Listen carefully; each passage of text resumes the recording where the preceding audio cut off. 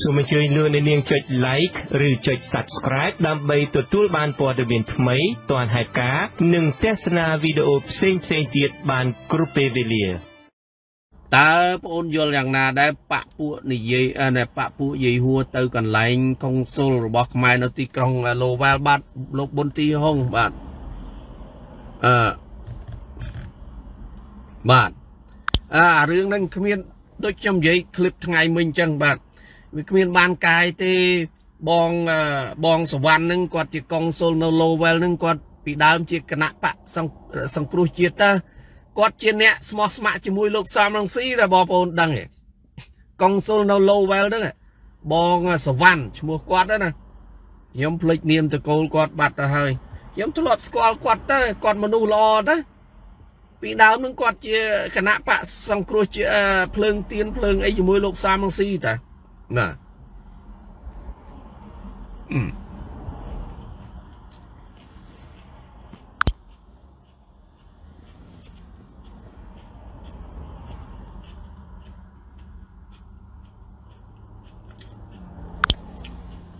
បាទគណៈបកសាមងស៊ីតាបងសវណ្ណដល់ក្រោយទៅប្រហែលគាត់អស់ជំនឿទៅលើលោកសំរងស៊ីបែបគាត់ស្គាល់លោកសំរងស៊ីច្បាស់ ប្រហែលគាត់ស្គាល់នយោបាយលោកសំរងស៊ីច្បាស់គាត់ក៏ពីដើមឡើយគាត់ទៅប៉ះកម្មទៅអីនៅញូវយ៉កដែរតាណាគាត់ខាងគណៈបកសង្គ្រោះជាតិណាតែគាត់គាត់បដូរគាត់ឈប់គ្រប់គ្រងសង្គ្រោះជាតិគាត់ទៅចោះចូលជាមួយគណៈបកប្រជាជនទៅណាគាត់ទៅចោះចូលជាមួយគណៈបកប្រជាជនទៅហើយ និយាយពីអ្នកបាតកម្មអីណាទៅកុងស៊ុលអីហ្នឹងអើយចាទៅឲ្យបងប្អូនហើយគាត់ថាបង្កើតរូបភាពឲ្យល្អមើលទេបងសវណ្ណហ្នឹងគាត់ធ្វើអីកើតគាត់មានអាណាធិបតេយ្យគាត់មានការសម្រេចចិត្តអីកើតគាត់សប្ថ្ងៃហ្នឹងគាត់ថាធ្វើមិនឲ្យរដ្ឋាភិបាលខ្មែរហ្នឹងសុបាយចិត្តណាគាត់មិនហ៊ានប្រឆាំងជាមួយរដ្ឋាភិបាលខ្មែរទេណា បើតារដ្ឋាភិបាលខ្មែរថាមិនអីគាត់ធ្វើតាមហើយទៅគាត់កុងស៊ុលតូចមួយហ្នឹងគាត់ជាកុងស៊ុលតូចមួយណានៅ Lowell ហ្នឹងគាត់ថាបើគណៈបកប្រជាជនអីមកអីចឹងទៅណាគាត់រៀបចំអីអីបណ្ដាញអីចឹងទៅហើយនៅ Lowell ហ្នឹងមានគណៈបកប្រជាជនបណ្ដាញគណៈបកប្រជាជនធំណាអញ្ចឹងគាត់គ្នាគាត់ហ្នឹង ប្រជុំគ្នាអញ្ចឹងមានកម្មវិធីមានអីនិយាយអីអញ្ចឹងទៅមានបេសកជនពីប្រទេសកម្ពុជាមកពួកគាត់នាំគ្នារៀបចំអីទទួលទៅណាហើយអញ្ចឹងទៅគាត់កុងស៊ុលនៅនឹងគ្រាន់តែថាមុខងារគាត់ជាកុងស៊ុលហើយគាត់គ្រាន់តែសម្រួលការធ្វើដំណើរកាលខ្ញុំធ្វើដំណើរទៅស្រុកខ្មែរចុងក្រោយក៏ខ្ញុំទៅកន្លែងគាត់ឲ្យគាត់បោះវីសាឲ្យដែរណា គាត់បោះវីសាទៅមកវីសាហ្នឹងគាត់ឆាចប្រមាណប្រមាណតាមតម្លៃអញ្ចឹងទៅណាវាស្រួលមួយយ៉ាងដែរខ្ញុំទៅកន្លែងគាត់ទៅដល់បោះវីសាទៅទៅដល់ស្រុកខ្មែរយើងមានវីសារួចស្រេចហើយចូលទៅពូជតុងយើងមិនបាច់ចាំធ្វើអីទៀតទេណាអញ្ចឹងវាស្រួលមួយយ៉ាងកន្លែងហ្នឹងដែរណាវីសាអីចុះឡើងអញ្ចឹងទៅគាត់មុខងារគាត់ភាកច្រើននៅប៉ុណ្្នឹងឯងណាដូច្នេះក្រុមលោកយាយហួរទៅ ទៅបានប្រយោជន៍អីគ្រាន់តែយករូបភាពមួយឲ្យឲ្យណាគ្រាន់តែយករូបភាពមួយឲ្យពួកអ្នកគ្រប់គ្រងសង្គ្រោះជាតិប្រជាជននៅក្នុងពិភពលោកឃើញថាគាត់នឹងទៅប្រឆាំងដល់មុខកុងស៊ុលប៉ុន្តែសួរថាកុងស៊ុលនឹងមានអាណាធិបតេយ្យក្នុងការសម្រេចចិត្តទៅឲ្យវីសាគាត់អត់ចម្លើយគឺអត់ពួកបងសវណ្ណនឹងគាត់ធ្វើតែតាមណាតែតាមបញ្ជាពីរដ្ឋាភិបាលខ្មែរទេ បើរដ្ឋាភិបាលខ្មែរថាឲ្យឲ្យវីសាពួកហ្នឹងទៅគាត់បោះភ្លាមឲ្យឥឡូវហ្នឹងរដ្ឋាភិបាលខ្មែរតែបើឃើញពួកហ្នឹងទៅសុំវីសាកុំឲ្យគាត់មិនហ៊ានឲ្យទេណាដូច្នេះអឺក្រុមលោកសំរងស៊ីលោកយាយហួរអីហ្នឹងគាត់ធ្វើឲ្យតែល្អមើលទេចង់ចូលស្រុកខ្មែរមិនចូលស្រុកខ្មែរតែសួរលោកហ៊ុនសែនសុំច្បាប់លោកហ៊ុនសែនណាតែសុំច្បាប់លោកហ៊ុនសែនបានហើយគឺបានហើយ ដោយលោកតាលឺឡាយស្រេងអញ្ចឹងឃើញទេគាត់ស្រែកតាម Facebook គាត់តើសម្ដេចអើយសុំចូលផងអីចឹងណាឃើញទេលោកតាលឺឡាយស្រេងគាត់អត់មានសុំវីសាពីទូតខ្មែរពីអ្នកណាណាគាត់សុំពីលោកហ៊ុនសែនតាម Facebook មកស្រែកសុំពីចម្ងាយមកឃើញទេស្រែកសុំទៅលោកហ៊ុនសែនក៏តើតើអើយចំណាស់ហ្នឹងហើយណាចង់ចូលមកក៏ចូលមកខ្ញុំមិនថាអីទេណាឃើញទេ លោកហ៊ុនសែនតវិញហៅលោកតាលឺស្លាយស្រេងឲ្យចូលស្រុកខ្មែរលោកតាលឺស្លាយស្រេងគាត់ប៉ុណ្ណឹងគាត់អរគុណលោកហ៊ុនសែនណាឥឡូវគាត់បានចូលស្រុកខ្មែរគាត់រស់សុបាយស្រួលលែងខ្វល់រឿងនយោបាយណាអារឿងចូលស្រុកខ្មែរមិនបាច់ទៅសុំឯណាទេដូចខ្ញុំនិយាយមិនបាច់ចាំទៅសុំអ្នកណាទេគ្មានណាអ្នកអាចហ៊ានឲ្យពួកខាងក្រមលោកយាយហួរចូលទេបើគ្មានការអនុញ្ញាតពីលោកហ៊ុនសែនគ្មានអ្នកណាហ៊ានទេ ណា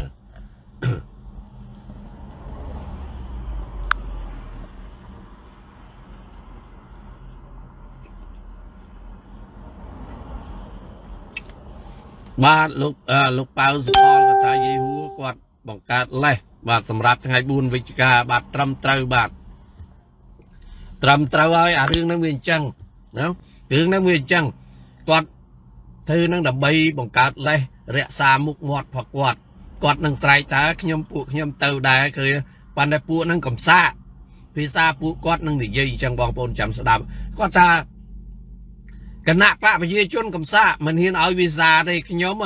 សំបីឲ្យខ្ញុំទៅស្រុកខ្មែរចូលគុកហើយក៏គេមិនឲ្យទៅដែរហើយមិនរឿងខ្លាចអីមនុស្សដែលមនុស្សដែលដែលសុំចូលគុកសោះមិនក៏ខ្លាចគាត់នឹងនិយាយភាសាអស់ហ្នឹងបងប្អូនចាំតែមើលណាគាត់នឹងនិយាយភាសាអស់ហ្នឹង គាត់អួតថាមនុស្សទៅស្រុកខ្មែរសុំតែចូលគុកក៏ហ៊ុនសែនមិនហ៊ានឲ្យទៅដែរមិនគេខ្លាចទេបងប្អូនគេមិនចង់ឲ្យចូលទៅឆាឆៅណាអ្នកណាគេខ្លាចមនុស្សដែលមានអំណាចនៅក្នុងដៃបលិសក៏មានតបក៏មានណានិយាយពីរឿងលុយកាក់អីអីគឺថាគណៈបកប្រជាជនស៊ីដាច់គណៈបកសង្គ្រោះជាតិទេអ្នកណាទៅខ្លាច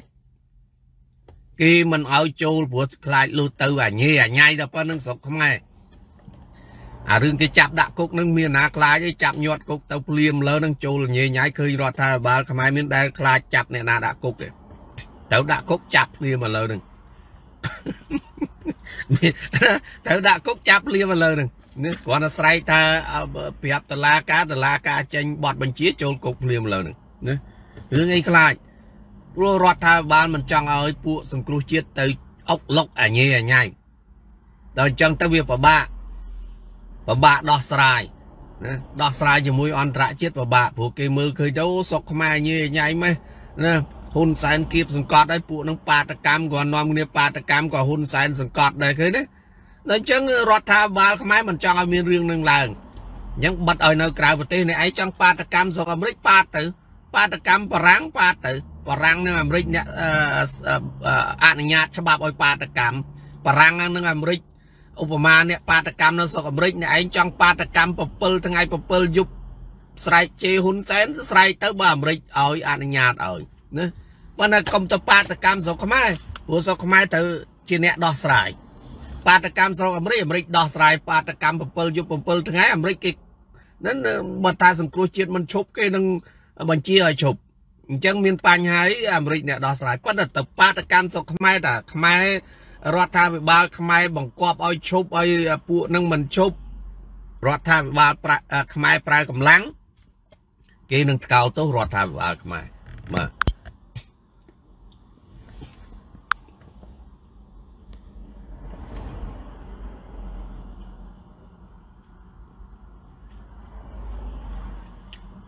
បាទលោកសាន់សាប់អី គ្រាន់តែជាលេសបាទត្រឹមត្រូវអារឿងនឹងវាអញ្ចឹងលេសទៀតតែប៉ុណ្្នឹងបាទ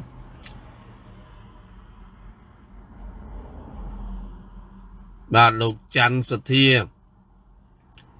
ប៉ុន្មានឆ្នាំចុងក្រោយនេះអត់ពីពួកបកប្រឆាំងប្រជាជនខ្មែររស់បានសុខណាស់បាទអរគុណ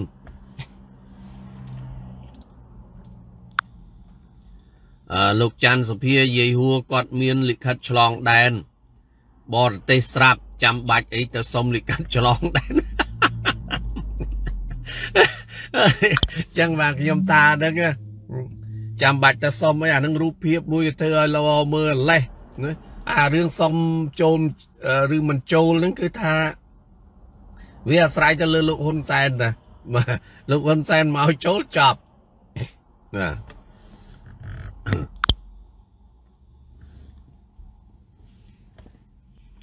អូនស៊ីណាគាត់ថាសំដីសំទោសសំអីសំដីរត់នៅសិនរហូតបាទសំដីរត់នៅសិនរហូត4 5ឆ្នាំរត់ត្រូវការឲ្យចេញមិនចេញឲ្យលុយក៏មិនចេញឲ្យដីកន្លែងផ្សេងក៏មិនយកចុងក្រោយមានតែស្រែកយំពួកប្រឆាំងឃើញឱកាស ណែណែណែយកកេងចំណេញនយោបាយយូរយូរក៏កើតជាបាតកម្មស៊ីឈ្នួលបាទអារឿងហ្នឹងវាអញ្ចឹងនៅបឹងកក់បឹងអីដីរត់តើបងប្អូនណាបាទ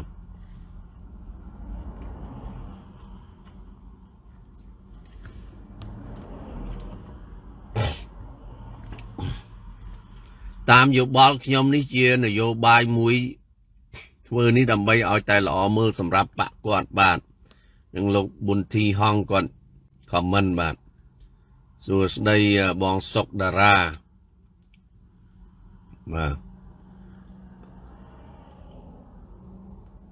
អូខេលោកប៊ុនទីហាងគាត់ថាតើប្អូនយល់យ៉ាងណាដែរដែលបពពួកនិយាយអឺអ្នកបពពួកនិយាយហួរទៅកន្លែងកុងស៊ុលបាទខ្ញុំមើលរួយបាទអរគុណ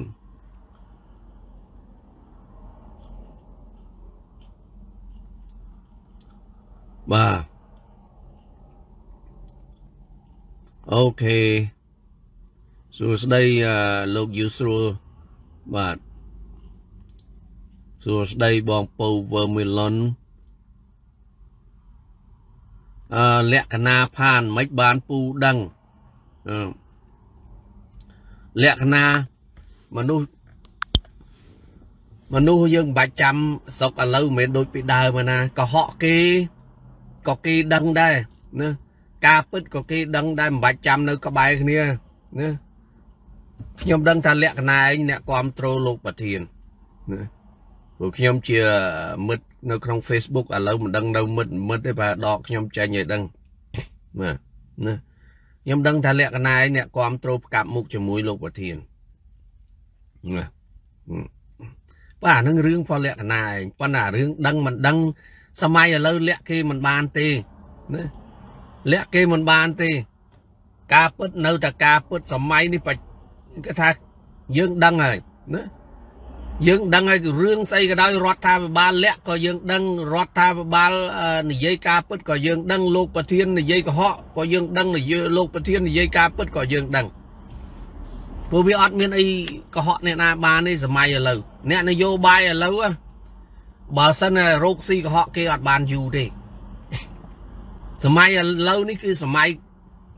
សម័យឥឡូវប្រជាជនយល់ច្រើន ដឹងការពិតច្រើនហើយភ្នែកទឹកតិចទឹកសម័យឥឡូវភ្នែកទឹកតិចទឹកកុហកគេមិនបានទេណារឿងអីខ្ញុំមិនដឹងអារឿងចឹងចឹងបងប្អូនណាជួនកាលបើយើងវល់ស្ដាប់ ខាងលោកប្រធាន គឺថាអានឹងរដ្ឋាភិបាលខ្មែរហ្នឹងណារដ្ឋាភិបាលខ្មែររឹបអូសយកដីធ្លីអីគេមែនណាបើយើងស្ដាប់ខាងលោកប្រធានបំពងសំឡេងប៉ិនបើយើងមើលការពិតឥឡូវមិនបាច់ចាំអីសួរដីបាំងដីបឹងកក់នឹងជាដីពលរដ្ឋខ្មែរមែនអត់ឬក៏ដីរដ្ឋចម្លើយសួរមកឆ្លើយមកកន្លែងបឹងកក់នឹងជាដីរដ្ឋឬក៏ដីប្រជាជនអឺ មានកម្មសិទ្ធិនៅទីនោះចម្លើយកន្លែងបឹងកក់ឲ្យនឹងសិទ្ធិដីរដ្ឋណាអានឹងការពិតវាអញ្ចឹងបឹងកក់ជាដីរដ្ឋណាហើយគណៈបកប្រជាជនគេតែងតែនិយាយភាសាហ្នឹងគេឲ្យគេឲ្យលុយគេឲ្យដីកន្លែងដោះដូរប៉ុន្តែវាឲ្យហ្នឹងมันបានដូចខ្ញុំនិយាយអញ្ចឹងណាជួនកាលប្រជាជនមានមហិច្ឆតា យើងទៅលើនៅលើដីរដ្ឋហើយ គេឲ្យបន្តិចតួច គិតថាគេឲ្យតិចធម្មតាគាត់ផ្ទះគាត់អញ្ចឹងគាត់ធ្វើអស់លុយច្រើនអញ្ចឹងប៉ុន្តែមិនមែនដីគាត់ទេណាគាត់ទៅមុនដំបងធ្វើខ្ទោមទេណាដល់ធ្វើខ្ទោមអញ្ចឹងទៅអស់ពីខ្ទោមគាត់នៅនឹងយូរទៅគាត់រោគស៊ីបានរដ្ឋាភិបាលមិនលឺមាត់គាត់ចាប់ផ្ដើមធ្វើរៀងផ្ទះឈើបន្តិចតួចណាដល់រោគស៊ីរៀងបានមានធូគាត់ធ្វើអាផ្ទះឈើហ្នឹងទៅផ្ទះថ្មអញ្ចឹងទៅណាឧទាហរណ៍ណាដល់ហើយរដ្ឋាភិបាលឲ្យរើចេញផ្ទះគាត់ហ្នឹងវាល្អគាត់អត់ចង់ចេញណាបើផ្ទះខ្ទមអីគេឲ្យលុយបន្តិចតួចគេឲ្យដីអាហ្នឹងទៅស្រួលណាធម្មតាខ្ទមមានអស់អីខ្ទមណាប៉ុន្តែបើថារដ្ឋាភិបាលឲ្យលុយបន្តិចតួចទៅឲ្យដីផ្សេងគាត់ទៅប៉ុន្តែមួយចំនួនគឺថាផ្ទះវាអត់មានក្បោខ្ទមទៀតទេផ្ទះឈើផ្ទះអីគាត់ធ្វើអស់លុយច្រើនដែរណា ដល់អញ្ចឹងគេឲ្យលុយល្មមដល់មកចេញគេឲ្យដីគាត់មិនចេញដល់មិនចេញទៅគាត់ចង់បានលុយថែមមកទៀតព្រោះគាត់ថាផ្ទះគាត់ហ្នឹងវាថ្លៃចេះចុះបើគាត់ទៅធ្វើកន្លែងផ្សេងហ្នឹងវាណាវាអត់វាអត់គ្រប់ទេប៉ុន្តែយើងជាអ្នកធ្វើតា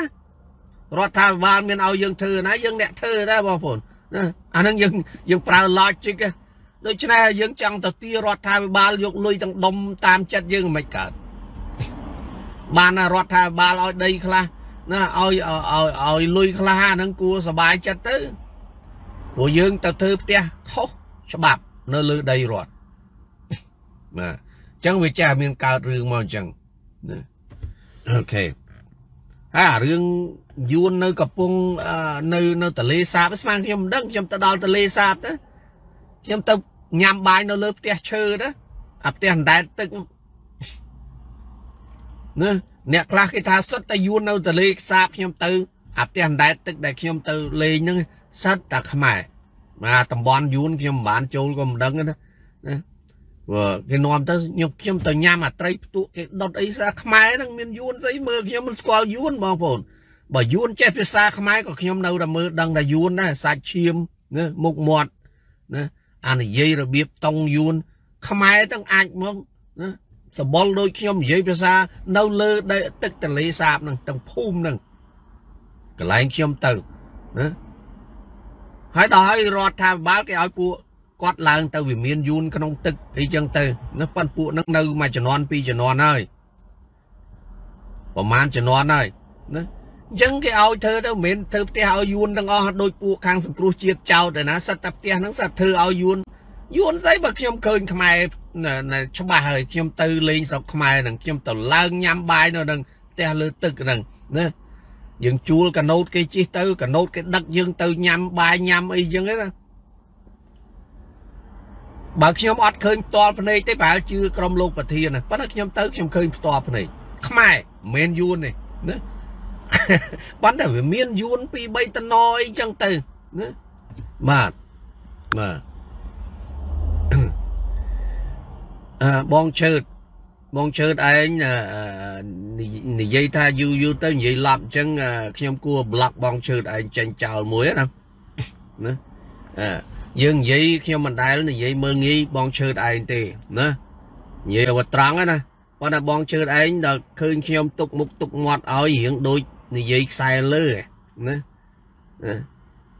និយាយខ្សែលើឲ្យខ្ញុំនិយាយខុសកន្លែងតាណា ខុសដោយសារខ្ញុំមិនបានត្រូពងសំលងស៊ីដូចបងឈើតឯងណាបើថាចង់ត្រូពងឬក៏លិតពងសំលងស៊ីអញ្ជើញទៅខ្ញុំមានថាអីណាហើយខ្ញុំមិនអញ្ជើញបងឈើតឯងណាមកស្ដាប់ខ្ញុំឯណាណាបើមកស្ដាប់ខ្ញុំអីអត់ចេះរក្សាភាពថ្លៃថ្នូរទេបងឈើតឯងជាមនុស្សថោកព្រោះយើងចូលមកស្ដាប់គេយើងចូលផ្ទះគេយើងត្រូវគោរពគេណា បើយើងមិនគោរពគេយើងកុំចូលផ្ទះគេបើយើងមិនចង់ស្ដាប់គេយើងកុំមកចូលស្ដាប់គេប៉ុន្តែបើចូលស្ដាប់គេហើយនិយាយភាសាដៀលថ្មេះគេអញ្ចឹងយើងយើងជាមនុស្សមនុស្សថោកយល់ទេណាមនុស្សថោកបើមនុស្សថ្លៃថ្នូរគេមិនអញ្ចឹងទេហើយណាហើយខ្ញុំដើរទៅប៉ះពាល់អីបងឈើតឯងពីកាលណាណាបងឈើតឯងដូចឡប់អីអង្គុយដូចតាអីសីអីសូងគូពុកមាត់ពុកអីខ្ញុំឃើញនៅ Facebook ហ្នឹងរៀងចង់ឡប់ឡប់ខ្លួនឯងទៅដឹង អូខេប្លុកចោលមួយខ្ញុំអត់ទុកទេមនុស្សដែលខ្ញុំ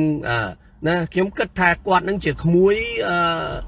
របស់មិត្តភ័ក្តិដែលឪពុកផកខ្ញុំស្គាល់ទៅមកពីស្រុកខ្មែរទេបានមកស្រុកអាមេរិកដោយសារក្បាលអ្នកណាណាបើហ៊ុនសែនមិនអោយមកស្រុកអាមេរិកទេស្មានបានមកឲ្យបងឈើតឯងនិយាយបើត្រង់ណាបើហ៊ុនសែនបើរដ្ឋាភិបាលខ្មែរមិនអោយវីសាមកអាមេរិកបានមកអត់ ជំនាន់ពលពតអត់បានមកណាពលពតគៀបបិទរត់ចេញពីប្រទេសចាប់បានសម្លាប់ចោលឥឡូវហ្នឹងណានិយាយបើត្រង់កុំឲ្យល្មើសគុណពេកខ្ញុំខ្ញុំ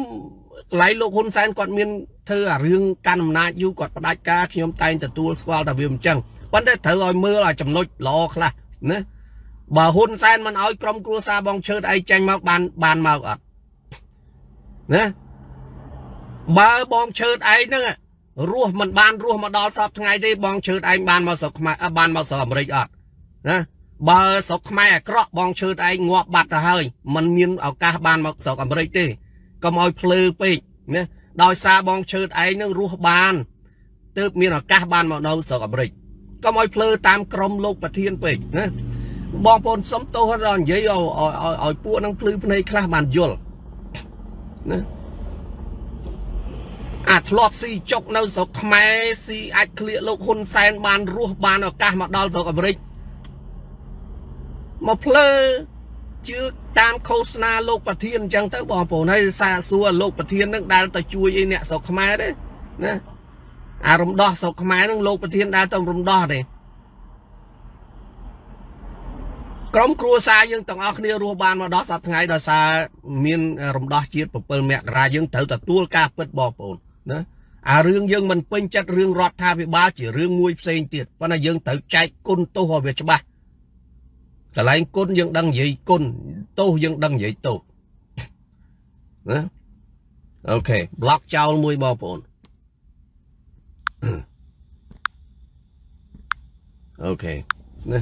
okay all right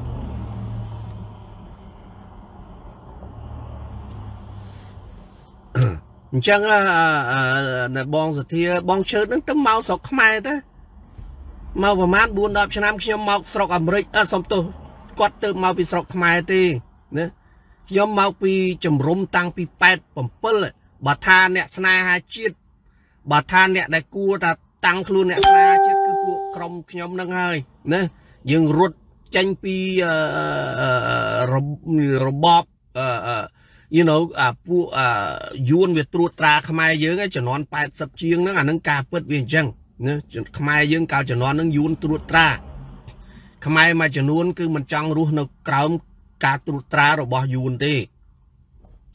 ចឹងអ្នកមួយចំនួនរត់ចេញពីស្រុកខ្មែរដោយសារមិនពេញចិត្តយួនគ្រប់គ្រងប្រទេសខ្មែរណាហើយបើថាអ្នកគួរតែប្រឆាំងយួនខ្លាំងជាងគេពួកខ្ញុំនឹងហើយគួរតែប្រឆាំងយួនច្រើនជាងបងឈើតមិញហ្នឹងបងប្អូនណា បងឈើតហ្នឹងវាស្អីវារស់នៅស៊ីអាចផឹកទឹកយួនរហូតមកដល់ណាដល់យួនចូលចេញទៅស្រុកខ្មែរទៅអដល់ឆ្នាំ97យួនចេញពីស្រុកខ្មែរទៅទៅរត់ចេញពីស្រុកខ្មែរដល់អាយួនអត់ចេញទេនៅស៊ីស៊ីស៊ីអាចផឹកទឹកនោមយួនតាឆ្នាំ79មកដល់90ជាងបងឈើនៅផឹកទឹកនោមយួនតាយួនពេញស្រុកខ្មែរហើយបើខ្លាំងមិនមិនរត់ចេញពីស្រុកខ្មែរទៅណា ដល់យួនចេញពីស្រុកខ្មែរបានឯងនឹងរត់មកឯណាមកអាមេរិកឯណាបើប៉កែរត់តាំងពីយួនគ្រប់គ្រងស្រុកខ្មែរមកណាហើយតាំងខ្លួនអ្នកស្នេហាជាតិទៅប៉ុន្តែមួយចំនួនបងប្អូនអ្នកតាំងខ្លួនអ្នកស្នេហាជាតិទៅណាឯងណាទៅមកដល់ស្រុកអាមេរិកអូធ្វើឯងដូចខ្លាំងជាងគេអ្នកនៅស្រុកអាមេរិកពីដើមណាអូប្រឆាំងចេះប្រឆាំងចុះទៅផ្កាប់មុខជាមួយសាមស៊ីប៉ុន្តែស៊ីអាចផឹកទឹកនោមយួនណា តាំងពីឆ្នាំ79ដល់ឆ្នាំ90ជាងសុកចិត្តស៊ីអាចផឹកទឹកនោមយួនណាមិនដូចពួកខ្ញុំទេពួកខ្ញុំអត់ស៊ីអាចផឹកទឹកនោមយួនទេសុំទោសបងប្អូនសុកចិត្តរត់ចេញណាណាដល់ឯងទៅមកធ្វើឯងដូចខ្លាំងពួកនេះដូចឆ្លក់ទឹកម៉ាស៊ីនមិនមិនដូចឈួតឡប់មិនបងបងប្អូនដូចអញ្ចឹងបាទថាជួនកាលពិបាកណាបងប្អូននិយាយមួយពួកនេះណា Yes sister Chara the new arrival ពួកអ្នកមកក្រោយនឹងធ្វើដូចខ្លួនឯងស្នេហាជាតិណាណាហើយវាទៅជាយើងណាអ្នកមកបាំងក្មេងៗទៅក្បត់ជាតិអស់ហើយបាទពួកអស់ហ្នឹងបងប្អូនវាស៊ីអាចផឹកទឹកនោមយួននឹងដល់យួនចេញពីស្រុកខ្មែរទៅវាអស់អាចអស់ទឹកនោមយួនបានវារត់មកស្រុកអាមេរិកទៅបើមានយួននៅក្នុងស្រុកខ្មែរទៀតវានៅស៊ីអាចផឹកទឹកនោមយួននៅហ្នឹងឯងណា បាទណាបើយួននៅស្រុកខ្មែរនៅដដែលពួកវាអត់មកទេវានៅផឹកទឹកនោមយួននៅទលេសាបហ្នឹងអាហ្នឹងអាពួកមួយចំនួនវាអញ្ចឹងខ្ញុំវាមិនចង់និយាយអញ្ចឹងទេបងប្អូនប៉ុន្តែវាហួសហេតុពេកណាវាហួសហេតុពេកពួកនេះដូចមកដូចកាងហ្មងណាមកកាងហ្មងណា អាយើងអ្នកខួរក្បាលសេរីដែលយើងនិយាយការពិតយើងនិយាយពីលទ្ធិប្រជាធិបតេយ្យយើងមិនចង់កាប់មុខទៅខាងណាទេណាវាទៅជាយើងនឹងអាក្រក់ដល់ពួកវាពួកអារឿងអាមានអាចរិតផ្ដាច់ការអញ្ចឹងវាទៅជាអ្នកស្នាជាតិទៅជាអ្នកល្អណាបាទ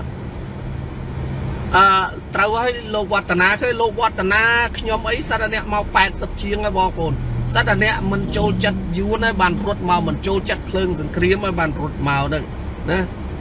ហើយពូឲ្យពូឲ្យលោកវឌ្ឍនាឲ្យខ្ញុំឲ្យឆារាទៅគួរក្បាលកុម្មុយនីសទៅអីទៅអត់រួចទេណាប៉ុន្តែពួកខ្ញុំមិនភ្លើផ្កាប់មុខនិយាយគ្មានដឹងហេតុផលគ្រប់ត្រូលលោកប្រធានទេខ្ញុំឆារាយលោកវឌ្ឍនាជាអ្នកនៅស្រុកអាមេរិកណា មិនមែនទៅភ្លើគ្រប់ត្រូមនុស្សនិយាយភូតភោកុហកដោយលោកសំរងស៊ីទេបងប្អូនណាឲ្យពួកខ្ញុំទៅភ្លើទៅគ្រប់ត្រូលោកបបេថោកហ្នឹងពួកខ្ញុំមិនល្ងងដល់ឋានៈហ្នឹងទេអ្នកនៅស្រុកអាមេរិកមិនមែនភ្លើដល់ឋានៈហ្នឹងទេបោកបានតែពួកអាកាប់មុខអញ្ចឹងអញ្ចឹងណាសំទោសថ្ងៃនេះខ្ញុំលុតឲ្យខ្លាំងតិចព្រោះពួកនេះទុកមុខទុកមាត់ឲ្យអត់យល់ណាយើងគោរពយើងផ្ដល់ ការរាប់អានប្រប៉ុណ្្នឹងហើយនិយាយលេងរាល់ថ្ងៃមកភ្លើនិយាយអញ្ចឹងនិយាយអញ្ចឹងយើងដាក់ខ្លះទៅណាបើមិនស្គាល់ការរាប់អានទេយើងមិនបាច់ចាំរាប់អានណាលៀងចោលខ្លះទៅណាដូចខ្មែរក្រហមគេថាទុកមិនចំណេញដកចេញមិនខាតណានឹងយកពាក្យខ្មែរក្រហមពាក្យក្រមលោកប្រធានមកនិយាយម្ដងណាបាទទុកមុខទុកមាត់ឲ្យចង់រាប់អាន គ្នាយើងមិនយកខ្មែរជាសត្រូវប៉ុន្តែនិយាយមកចេញចឹងចឹងវាឆ្អែតដែរបងប្អូនជួនកាលលេះស្អីចោលខ្លះទៅបាទដល់កន្លែងបងប្អូន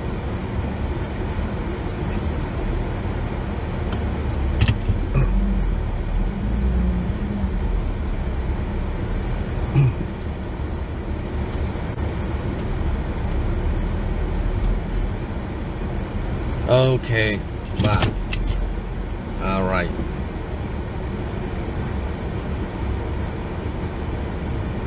បាទលោកលោកបាទលោកប៊ុនធីហងក៏ថាពួកយើងមកចំនួនជនភៀសខ្លួនតែយើងមិនល្ងងជាងពួកអ្នកដែលចំនួនក្រោយនោះដែរបាទអរគុណបាទ Sister Chara Santa have us all okay បាទ អឺសួស្តីលោកគឿមធៀងអ្នកនយោបាយខ្មែរមួយចំនួន តែបង្កើត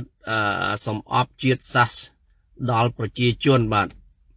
តែអូខេពីមុនឲ្យឲ្យស្អប់យួន បន្ទាប់មកឲ្យស្អប់អាមេរិកកាំងបាទបន្ទាប់មកស្អប់ចិនអឺទសវត្ស90ស្អប់យួនទសវត្ស2000ស្អប់យួនស្អប់ចិន ដើរតែស្អប់គ្នាមិនខំប្រឹងខ្លួនឯងបាទត្រឹមត្រូវបាទត្រឹមត្រូវសម័យឥឡូវអ្នកណាដែលពោពេញដោយសំអប់សម័យឥឡូវគេគេអត់ទេណាដូចប្អូនចដូនមួយខ្ញុំគ្រាន់តែខ្ញុំនិយាយ live show វាស្ដាប់មិនបានណាវាលឺខ្ញុំនិយាយពីយួនចេះយួនចុះហើយវាវាខឹងខ្ញុំអាប្អូនចដូនមួយខ្ញុំណាពួកវានៅក្មេងកើតនៅស្រុកអាមេរិកយូរហើយវាថា វាថាយើងហ្នឹងអ្នកដែលជ្រុលនិយមអីអីប្រកាន់ពូជសាសវាខឹងខ្ញុំប៉ុន្តែវាស្ដាប់ខ្មែរខ្ញុំមិនមិនបានដល់ខ្ញុំបញ្យល់ទៅបានវាបាត់ខឹងណាសម័យឥឡូវក្មេងសម័យឥឡូវគេអត់រស់នៅក្នុងសំអប់ទេគេអត់មានខ្វល់ថាយើងស្អប់យួនស្អប់ចិនគេអត់មានរស់ក្នុងសំអប់ទេមិនមែនដូចពួកអឺណែណែចាស់ចាស់ចំនួនដើមមួយចំនួនទេ ក្មេងឥឡូវគេអត់គិតថាយួនចិនអីទេគេគិតតែការរាប់អានគ្នាល្អជាមួយគ្នាណាហើយនឹងអានេះខ្ញុំគ្រាន់ខ្ញុំឧទាហរណ៍បងអូនចដូនមួយខ្ញុំនៅសហរដ្ឋអាមេរិកវាមាន Facebook វាឃើញខ្ញុំនិយាយវាស្ដាប់មិនបានជួនកាលវាស្ដាប់ខ្មែរបានខ្លះណាវាស្មានតែខ្ញុំនឹងពួក racist ស្មានខ្ញុំនឹងអ្នកប្រកាន់ពូជសាសន៍ជ្រុលនិយមវាខឹងខ្ញុំដែរបាទអូខេ you shoot live in Santa suit suit. okay. Yeah, if I have I shoot in uh, June Christmas uh, day. Uh yes sister Chara ធម្មតាមែនទេ sister Chara you know I know I'm I'm hardly get uh, upset you know ប៉ុន្តែពួកហ្នឹងជួនកាលយើងមិននិយាយបញ្ចេញមនោសញ្ចេតនាខ្លះអត់ស្មានថាយើងនិយាយលេងណាណា ដល់តែជួនកាលយើងបញ្ចេញមនោសញ្ចេតមនោសញ្ចេតនាបន្តិចទៅណាបើយើងមិនពេញចិត្តឲ្យពួកហ្នឹងឲ្យដឹងថាយើងយើងមិនពេញចិត្តអីយ៉ាងតិចទៅណាបានពួកហ្នឹងភ្ញាក់ខ្លួនបាទ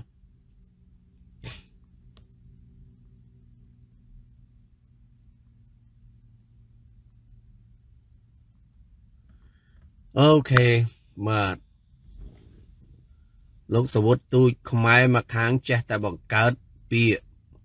សំអប់ឲ្យធ្វើឲ្យខ្មែរបែកបាក់ជាតិបាទ uh chara we all should be more open mind and speak of uh betterment please make love and kiss okay nah. yes i agree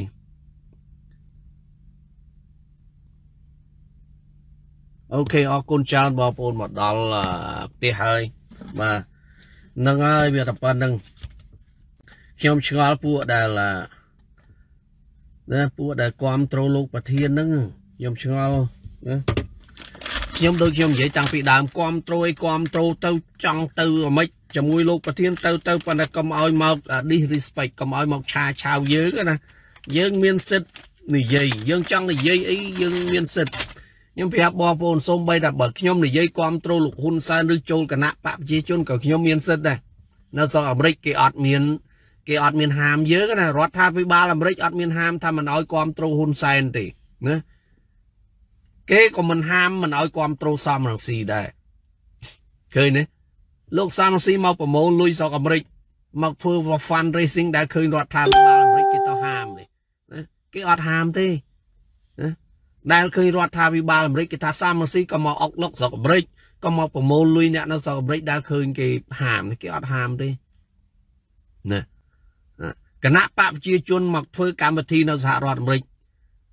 ដែលឃើញដែលឃើញរដ្ឋាភិបាលអាមេរិកគេហាមគេអត់ហាមទេព្រោះយើងជាសិទ្ធិរបស់យើងគ្រប់គ្នានឹងយើងគ្រប់គ្រងអ្នកណាគ្រប់គ្រងទៅ តែធ្វើអ្មេចឲ្យយើងបានសុខទាំងអស់គ្នាកុំឲ្យតែបង្កើតបញ្ហាឆ្លោះគ្នាវាយគ្នាណាអានឹងមានបញ្ហាបើថាចង់គ្រប់គ្រងគណៈបកប្រជាជនក៏មិនខុសច្បាប់ដែរកុំឲ្យជឿពួកក្រមជ្រុលនិយមលោកប្រធាន អានេះខ្ញុំនិយាយនេះដោយសារខ្ញុំមិនពេញចិត្តពួកនឹងបំភ្លើខ្លាំងពេកណាគ្រប់គ្រងលោកហ៊ុនសែនអត់មានខុសច្បាប់ស្រុកអាកាំងទេ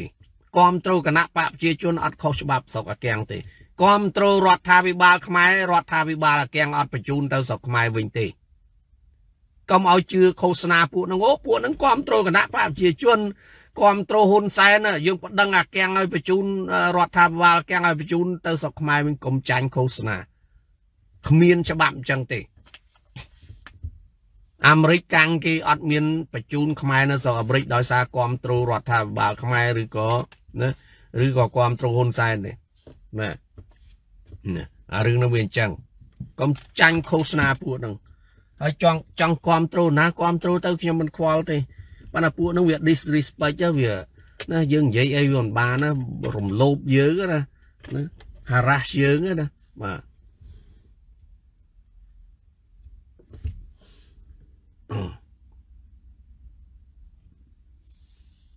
បាទលោកប៊ុនទីហងគាត់ថាអ្នកទាំងអស់នោះគឺគឺណែគាត់គិតថាមកដល់ប្រទេសទី3ជាប្រទេសអឺ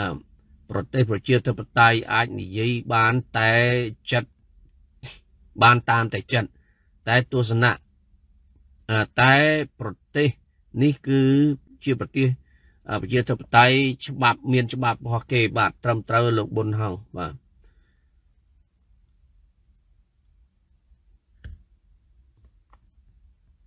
អូខេអរគុណលោកលងសិនស្គីបាទអូខេអរគុណច្រើនបងប្អូនខ្ញុំសូម